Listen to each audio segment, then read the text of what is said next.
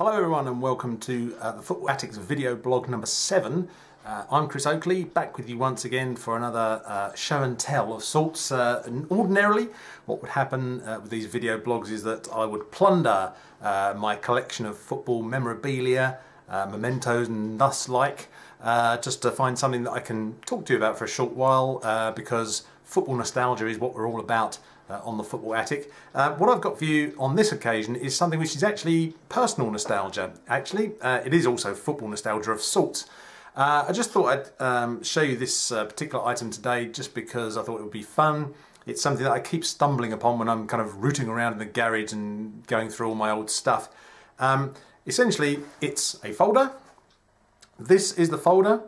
I know that probably it means nothing to you. You've never seen this before, but um, as you may be able to tell on the bottom, it says here Football Kit Designs and a very arty kind of logo here, which is based on my initials CDO.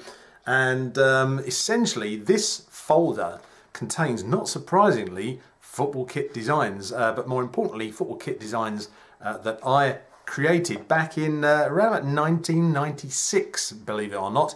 Uh, I was probably in my early to mid uh, 20s, I suppose, at the time, because these were done in the early to mid 90s. And um, basically, they were done at a time in my life when I had very little else to do in my spare time.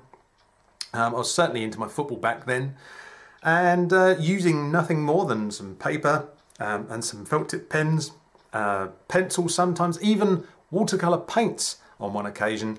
Uh, I basically just let my creativity and my imagination run wild uh, by designing football kits, mostly for uh, teams that were in the Premier League at the time. Now, I'm sure this is something that um, some of you watching now will have done uh, back in your own younger days, uh, back in the dim and distant past. Um, essentially, this was just nothing more than uh, emptying my head of uh, ideas for things that I thought would make for decent modern football kit designs. They were not created with a view to sending them off to Adidas or Umbro or Nike or anybody else for that matter. They were just done for my own personal satisfaction, something to do, um, and uh, uh, were a creative outlet for me, really.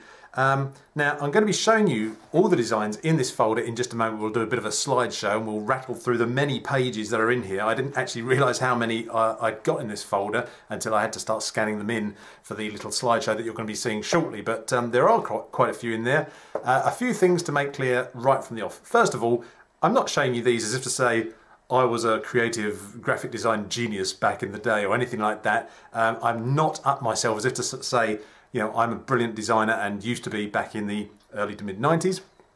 Um, many of these designs that you're going to see are a bit ropey.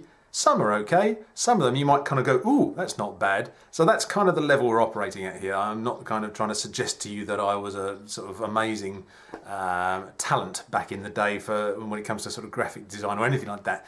It's just a curiosity piece, okay? Because whenever I do find this in the garage, I in, in, yeah, instinctively just start thumbing through the pages.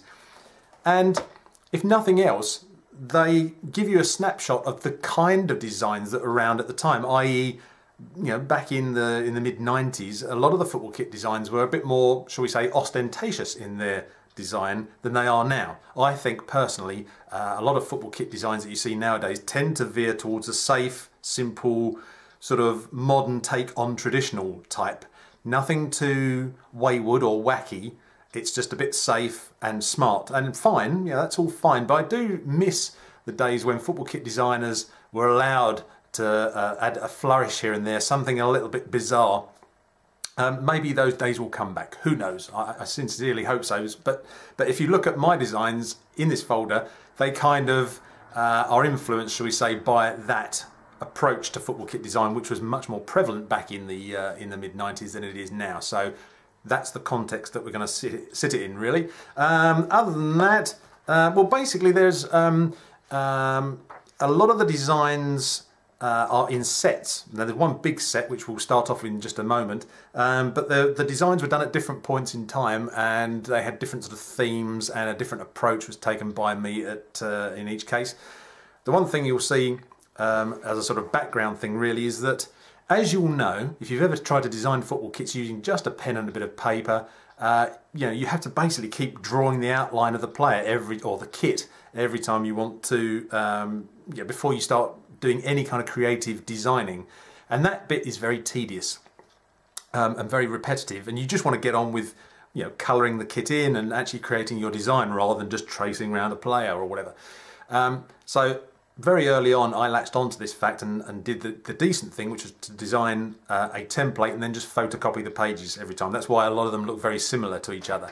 Um, so there's that. The other thing to mention as well that is that this was uh, this folder in a very slight sort of way was uh, used as the basis for a uh, blog article that I wrote. Oh, God, I should have checked this before I started actually, but it was way back in about 2012 on thefootballattic.com. You can find it there. Uh, it's called I Was a Teenage Kit Designer. And that was when I first sort of mentioned some of these designs. In fact, I, I scanned in and included a few of these designs in that blog post. And it went down really well. I think uh, chimed with a few of you maybe that are watching now because um, it's something that many of us have done back in the day, you know, just the, the simple pleasures of designing sort of fantasy football kits.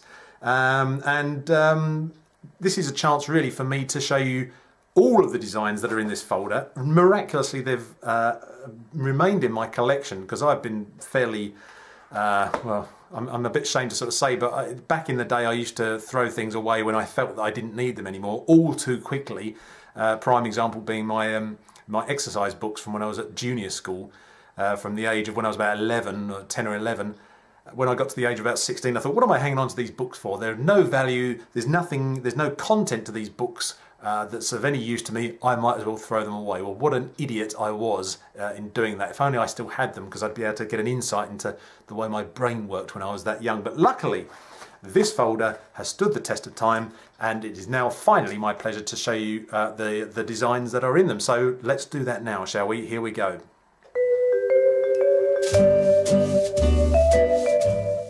So here we are then, and uh, we start off with the first set, which is by far the biggest set of designs uh, in my folder. And as you can see by the letters JVC across the middle of all of these uh, three shirts, uh, we start off with some kits that I designed um, for Arsenal. Now, I know already they look a bit kind of weird and wacky, I know, and this is kind of what you can expect, um, you know, uh, through the rest of this collection, frankly. So uh, strap yourselves in, that's what you've got in store. Um, and what can I say about these ones? Well, as you can see, we've got a home, away, and third kit, which is the case for all of the uh, the kits in this set. Um, are they any good? Mm, well, not especially. Um, I suppose the, uh, the, the first kit, the home kit, is the weakest one of these three. Um, the slight sort of thunder uh, motif on the second one in yellow and blue is a bit um, bit too out there for my liking, I suppose. But um, but the contrast of colours works well. And then white and green on the third kit. I did that, I think, like a lot of these third kits. I was just desperate to try and come up with something um, that maybe a colour scheme that hadn't been used for that team on, say, an away kit or a third kit before. Uh, and so that's why I used white and green with black trim on that third kit. Does it work? Um, almost. I think, like a lot of the designs you're about to see, they're kind of not far off being actual okay designs, if I say so myself. They just needed a little bit more finesse, a little bit of polish, just to kind of make them look believable. Who knows, maybe one day I'll re revisit all these designs and actually redraw them, but make them look a lot better. But the, the main priority uh, as I may have said in the introduction, it was just to kind of get the ideas out of my head and onto paper just so I could see what they look like. So if they look a bit rough and ready, that's the reason why. Um, yeah, um, okay, not a bad opening, shall we say, to start off with there for the Arsenal. Uh, we move on um, to Aston Villa. Thing to note with these, uh, as you can probably already see, is that I didn't, in my felt tip pen collection, I didn't have the exact colours all the time. Uh, therefore, I didn't have a claret coloured pen, I didn't even have a sky blue coloured pen. So what I had to use was this sort of dark cerise and a slightly turquoisey shade of blue. Um, as for the kit designs themselves, a lot of stripes going on there, as you can see uh, across the bottom of the uh, shorts and the top of the socks and the insides of the sleeves, sort of under the arms there. But all in all, not too bad. Again, just a bit of polish required and they may look okay. I think, the, again, the third kit's probably the strongest of, th of the three. Um, so those are the Aston Villa kits. Um, moving on to a couple here that I did. I just did one kit for, um, and I'm going to upset people now by saying this, but what I would have felt at the time were the weaker teams of the Premier League at the time, Barnsley and Bolton. Um, needless to say, um, my, my view of both teams has uh, improved considerably since then, but only one kit for those two teams. Uh, the Barnsley one, because um, Barnsley were in the Premier League, by the way, uh, back in whenever it was, 95, 96-ish sort of time. Barnsley one's not too bad, but the sort of sharp points on the sleeves are a little bit too severe, maybe. The Bolton kit I'm actually quite fond of. I'm quite pleased with that, and I think it's definitely kind of within the realms of believability for the sort of thing that Reebok uh, would have designed back then and, and thereafter as well. They were quite renowned for some of their wacky designs. Um, so I, I, quite like the Bolton one out of those. Uh, moving on, we have Blackburn Rovers, and um, yeah, um, for some reason, like, as with the Arsenal home kit that I showed you a moment ago, I sort of was going for this slightly pointy motif going on on the sleeves. I'm not sure what that's all about, but I suppose it was different from anything that Blackburn had had before at that point, and maybe since as well. Um, in, on, on, this occasion, I'm quite pleased with the second and third kits, and again, the third kit, I, I quite like the the white with orange and black uh, sort of approach there. That's quite nice, and the slope uh, on the second kit there, black and red, I think also works well. Um, uh, discuss is all I can say. Now we come on to Chelsea now. Now these are very weak. In fact, so weak that I can barely sort of ponder on them for more than a few moments. But um, inspiration was lacking on all three of these. I was trying to kind of come up with white and green. I think white and green would work on on a Chelsea away kit, but just not the way I've drawn it there. And I was trying to come up with some kind of shadowy, sort of complex pattern thing going on with the yellow third strip, but it just didn't happen for me. So sorry, Chelsea fans, you're probably waiting to see what I come up with uh, for your team. And frankly, I think uh, my creative skills were missing on that particular day. So let's move on, shall we? We go on to uh, Coventry City. Uh, again, I didn't have a sky blue pen. Sorry, Coventry fans. Uh, here you can see I was going with a kind of curved panel kind of motif with a sort of stitching effect on the inner edge. Um, probably go for the third kit on this one as well, although I think all three are okay without being brilliant. Uh, white and mauve on the away kit uh, with, a, with a touch of this strangey sort of turquoise colour. Mm, not sure, um, but they're okay. Again, they need a bit of finesse to make them look particularly good, and the right colours as well. Derby County, who were in the top flight back at the time. Now, I quite like these. Again, the points, the, the, the sort of uh, sharp tips of those triangles looks a little bit severe, but I think it sort of works. They just need to be toned down a bit, maybe. But um, the colour uh, scheme on all three, I think, works pretty well. And I, I know this is a, a, a, bit of a pattern emerging here, but I, I would have to go with the third kit again, actually. Although not by much. I, I quite like all three of those as a set. Next, we've got uh, Everton. These aren't too bad. Um, basically, what I was going with there, you can see, particularly on the middle kit, there is a sort of uh, motif of having a top panel, a horizontal panel, uh, another one at the bottom of the shirt, and then the same sort of down the sides of the kit well uh, as well.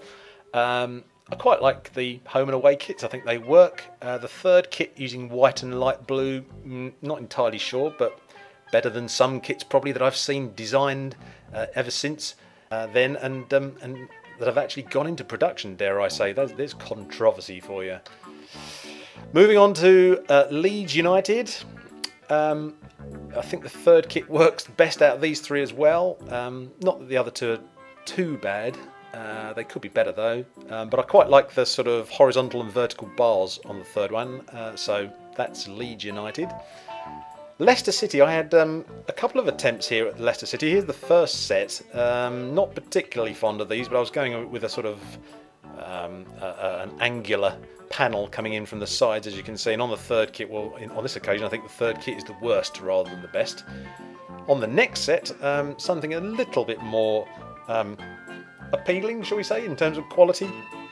Although I'm not a great fan of the uh, the sort of braces effect coming in sort of across the shoulders on the first two kits. I think the third one works best but then that's a bit like the Everton ones you saw a moment ago. So not my greatest designs there for Leicester fans sorry now, Liverpool. Uh, Liverpool Man U I did the most designs for. Now, here's four for Liverpool. Um, now, what you may or may not be able to make out on the kit on the right is that I was trying to work in this kind of complex shadow pattern, which was a series of kind of square, almost sort of like a Greek style, sort of square, angular, like a snake pattern almost, going around the tops of the shoulders and also at the top right hand corner of the shorts as well. Um, had I designed it better, I think it would have looked even better than it does there. But I think actually, as a as an idea, I think that could be the basis for something quite interesting. And um, I, it's one of those things where I sort of think I'm sure by this stage a, a, a, manufacturer would have done something like that, but haven't. Maybe because it's rubbish. I don't know. But um, I quite like the one on the right. The ones on the on the left, the, the two on the left there, okay, nothing special. Purple with white and black, no, maybe not A. And so on to Manchester United. Now here I've got quite a few to go through. So here's the first set of four. Um, not bad. A bit of tweaking, they could be okay. Uh, I'm not sure about blue and orange on the away kit, but white and black I think works. Uh, the blue one on the right is very out there and wacky, and um, I don't think it would ever ever be considered uh, as an away kit design, even if it was tweaked, frankly. But on the next set here of three, um, trying different things out with the home kit. The middle one, uh, the shirt, I'm quite sort of pleased with. It. I sort of tried to do a, a faded, kind of almost like a triple ribbon effect on the shirt. Not sure about the ribbon ends on the shorts, but um, but the shirt is okay. The, the the first one on the left, nah, that just isn't happening for me. And on the right, I was going for a, sort of almost a Piet Mondrian style kind of thing going on there with with blocks of colour squares and rectangles and stripes and things. And um, yeah, I think that's not too bad. Could be could be better if worked on a bit. Yeah, why not? Newcastle United, Newcastle United now. Sorry, get my words out. You can see I was very heavily influenced by the uh, Adidas kit of the era, the one with the grandad collar. Um, although my version has got a, a, collar where you might be able to see it's got a kind of notch cut out of it, and um, that's the main selling point of that one, creativity wise. Um, but nothing else much really to to write home about there. White and mauve, or you know, light purple, call it what you will. Uh, nothing special about that, and I'm not sure the colour scheme works. Green, white, and black. Hmm. I, I think it could have been better if it was drawn better, but it was drawn pretty poorly, as you can see. We move on to Sheffield Wednesday now. Um, home kit Not sure that's anything fantastic. The away kit with yellow, red, and black, shades of Watford, you might say. Um, not brilliant. My favourite on this one is the third kit, uh, using a sort of zigzag kind of pattern and also a few checker uh, effects, uh, particularly on the on the top of the socks there. I think that works okay. And moving on to Southampton, well, here you can see I was influenced by the classic uh, design that uh, Southampton had back in the early 80s that was worn by people like Kevin Keegan. Um, I quite like the originality of the collar. I'm not sure what it's about. It's kind of like got a solid uh, round neck and then a sort of extra curve below it. Um, but I think I think that's all right. It's not too bad. The away kit a bit too black possibly, uh, and the third kit on the right hand side there I think is okay. I think that could work as a sort of um, continuing theme from the the one on the left. So you know, not bad. That if I do say so myself. On to Tottenham, and again, like Chelsea, I think my inspiration was was not there that day. I was trying to create this kind of Argyle sweater effect. You know, with is it Argyle or is it a yeah, it's not paisley, is it? It's Argyle sweater with the sort of diamond motif that used to get on the old uh, the old jumpers there. Um, that's kind of what I was trying to design. It didn't work. The curves on the yellow away kit I can't say I'm fond of. And as for the orange one on the right, well, I think inspiration was definitely lacking on that day. On to West Ham now, my team, and um, if this picture looks a little bit light, it's because when I tried to adjust the contrast on this, it came out very dark. I couldn't quite get the right balance, but if nothing else, I'm just trying to highlight the fact here that um, I didn't have a claret coloured pen. I had a slightly sort of dark pinkish sort of pen, which didn't work. Um, home kit, if you make the leap of imagination as to what the, the proper claret colour should be, okay, but nothing brilliant. The stripy away kit in the middle there, bit um, bit too garish for my liking. And the third one on the right, in which I tried to bring in a sort of yellowy colour, nah, wasn't happening that one. I'd probably go for the home kit out of those three. Wimbledon, remember those? Yes, Wimbledon FC. Um, I quite like the home kit I've done there, sort of varying striped width uh, pattern going on there, all right, and it works as white and red as well. As for the third kit on the right, a sort of black pinstripe with a strange rectangular green pattern coming in from the top right hand corner, well, yeah, if it was drawn better, it might get commissioned, but probably wouldn't. Uh, now we come on to the England kits. Now, I've, you see, I've sort of done a few England kits here. Um, the middle one I sort of gave up on, it just didn't seem to be going anywhere. The one on the left, to my mind, doesn't sort of scream of anything particularly special. And the one on the right, um, as you can see, I was trying to work in a kind of E motif, E for England, uh, but not so good really. Um, yeah, maybe the, the original idea was better than what actually materialised in the end. So anyway, so those are a few England kits. Using the same template, I also designed a few generic kits as well um, for no particular team. Uh, I think the one I'm most fondest of is the one on the left with the black and blue stripes across the shoulders. I think that works quite well. The one in the middle, sort of subtle and understated. Who knows, that could work. And the one on the right just isn't happening for me. Uh, sorry, but I'm out, as they used to say on Dragon's Den. We now move on to the next set. Um, you can see here um, a different template, uh, which I sort of hand drew and then photocopied. Um, again, no particular teams here, just working with colours and ideas. Um, the one on the left I quite like, using sort of four stripes. It's sort of like a cross between the old Aberdeen kit uh, of the late 70s and Adidas. Um, only this one's got four stripes rather than three. Just a few sort of sets of stripes placed here and there on the sleeves and down the shirt and down the shorts and, and on the socks. The one in the middle, I returned to this kind of strange sort of square Greek style motif, but it's a bit busy, um, but could work if polished a bit. And the one on the right, I thought it'd be interesting to try and do a black and white shirt that wasn't stripes a la Newcastle. Um, it's a bit busy, but um, in some ways I kind of quite like what I've done there. Um, needs to be needs to be improved. Like a lot of my designs, you, you're spotting the theme that's going here. And the next set, well, the one on the left is sort of a cross between Arsenal and PSV Eindhoven, I suppose you could say, like a curved, solid panel uh, across the right-hand sleeve and the top of the shirt, and then stripes elsewhere. Um, not too bad, that I think. The one in the middle I quite like as well, as far as green and white stripes is concerned, uh, hoops I should say, uh, rather than going with the, the, the traditional kind of straight edged hoops. I thought I'd try curvy lines, wavy lines, um, with a sort of uh, thin stripe pattern going on in the, in the actual green hoops themselves. That looks quite nice. The one on the right, not so good. I used coloured pencils on that one, as you can see. Uh, it needs some work. Enough said. Now we come on to the next set. Now, with, the, with these ones you're seeing here, um, what I was trying to do is design uh, football kits that could be used in a catalogue um, because once upon a time, going back probably to about the late 80s, I happened to meet through some route or other, I can't remember now, a guy who actually created um, the sort of sportswear that you would see being sold on a market stall, let's put it that way. Um, you know, sweatshirts, uh, woolly hats, scarves, caps, that sort of thing, but they would be um, for the main teams, the big teams like Arsenal, Man United, Liverpool, and also local teams in London where I'm from, so the likes of Tottenham and West Ham, Chelsea. But the thing is, of course, he couldn't actually use, say, Manchester United, so he'd have to put a word like United on there that he couldn't get done for for copyright. Um, but anyway, he sort of created a catalogue for his small company that created all this stuff. And I thought, well, you know, there are Sunday league teams that uh, and, and, local sort of teams that get their kit from smaller uh, kit manufacturers, let's say.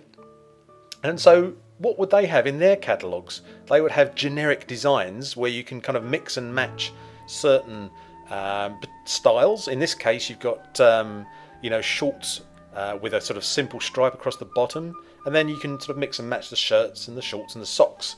Um, so I thought, well, if I was creating a catalogue like that, what generic kit designs would I create? And here's the first one. They've all got strange sort of names. This one's Novara.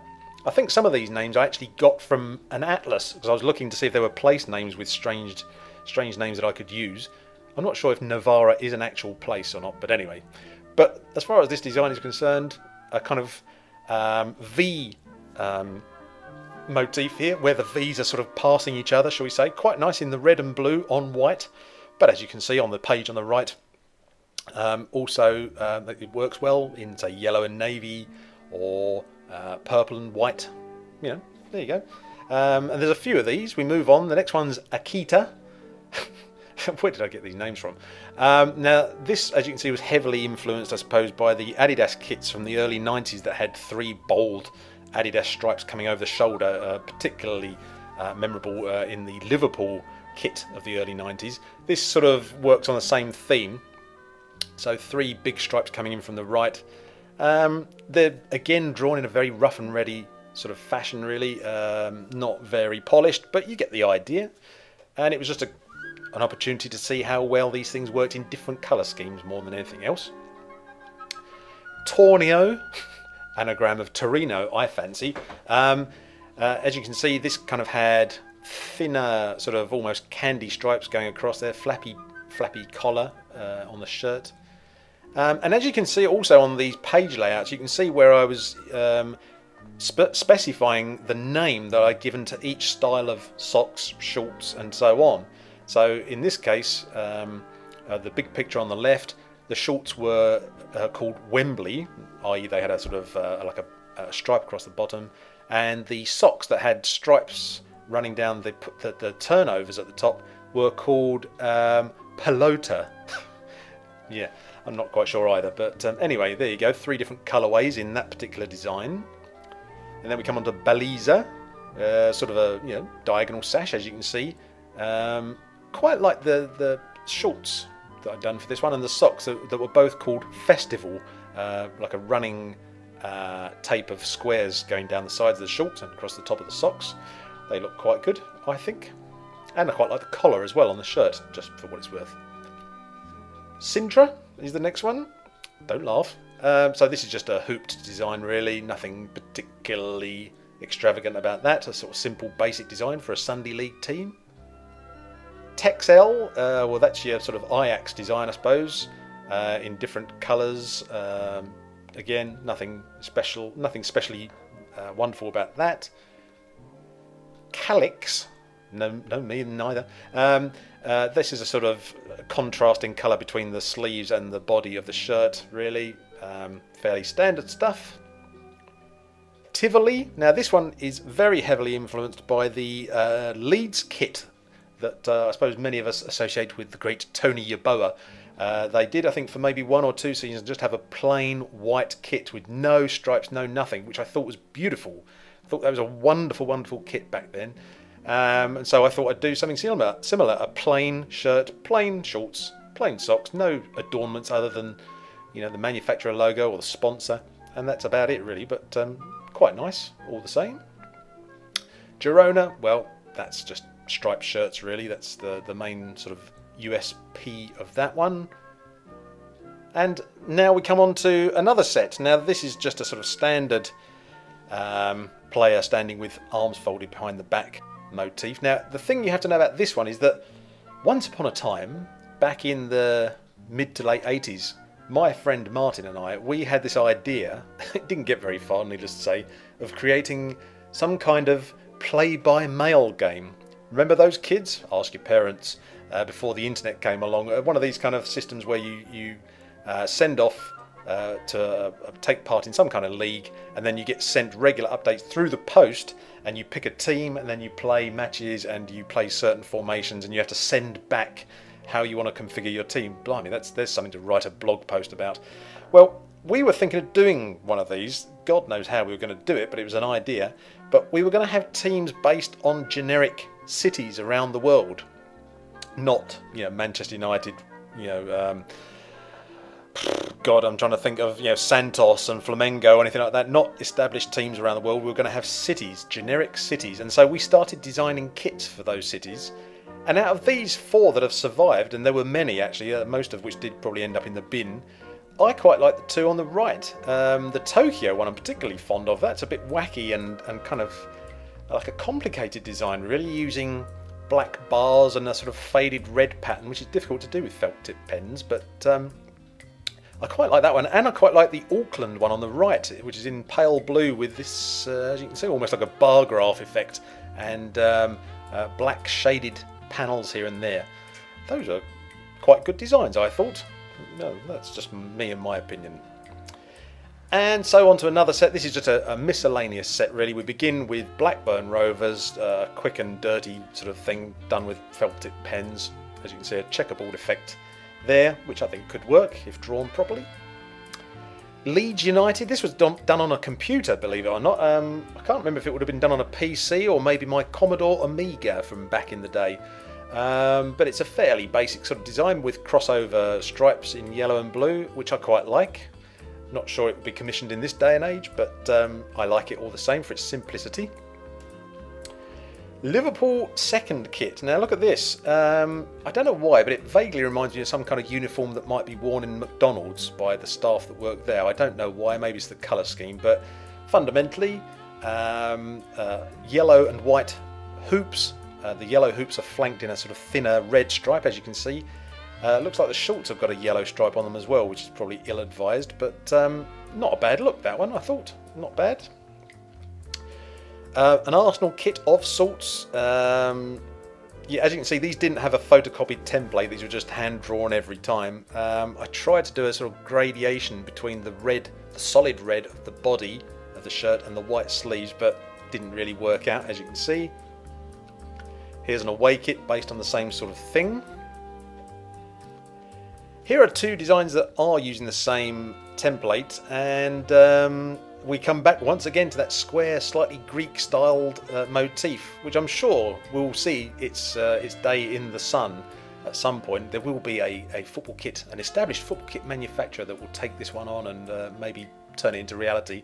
Um, in terms of the the, the, the Greek design, um, whether it will look anything like these two, I don't know, but they're all right. I quite like the one on the right, particularly in white and blue. And um, finally, two designs done using watercolor paints, would you believe? Now, the reason I did um, did these in watercolors just because you can get color down onto the page and, in quotes, color in the shirts and stuff very quickly. Of course, you just you know wash it in very quickly. No fiddling around with you know cross hatching with pencils or anything like that. Um, we're back to that three bar design that we saw earlier on, and um, yeah, I'm not sure if Ipswich ever had a kit like this, but I can sort of believe that they did. Um, it's it's all right, but it's a bit bit out there. And finally, we come on to what you might call a decent Chelsea uh, kit design because there weren't any earlier on. Um, albeit this one is, you might say, a bit influenced by Bordeaux with that uh, big V uh, running down towards the bottom with a horizontal stripe and um, you know other wide stripes cutting in across the, the bottom of the shorts and the top of the socks you can see I went really to town on this one, actually even doing some kind of vague crowd design and, and uh, coloured in the pitch and the sky and everything. Um, uh, not that that really improves things much, but um, you can see I was in an artistic frame of mind back then uh, when I did that one. Um, so there we go. So that finally is the last of my designs in my folder. Yes, uh, there it is. That's all of the designs in my folder here. Um, as you can see, quite a few of them. And uh, sorry it went on a bit long, but I just thought you might be interested in uh, seeing the sort of uh, things that I was uh, designing back in the early to mid 90s. Um, it'd be interesting to hear your thoughts, just to see what your comments are and see whether you think any of them may well have stood a vague chance of being put into production. I suspect they probably wouldn't have been, but um, but there is. One last thing just to mention, uh, the other, the other thing that was in the folder is there was this sheet. Now, I'm um, not quite sure if you can sort of see this too well, um, but basically, I was talking about the catalogue there that I was kind of, I wasn't even really thinking of making a catalogue, but I thought if I did, um, I need to kind of establish the styles, the individual styles for the uh, the collars on the shirts, the shorts and the socks. And um, that's what we've got here. We've got um, the Girona one here with a sort of stripe across the side of the collar and across the bottom. Uh, you've got um, Sintra, which had a sort of grandad collar. Baliza with that sort of curved V-neck collar. And then we've got the shorts with uh, Wembley here with the stripe across the bottom.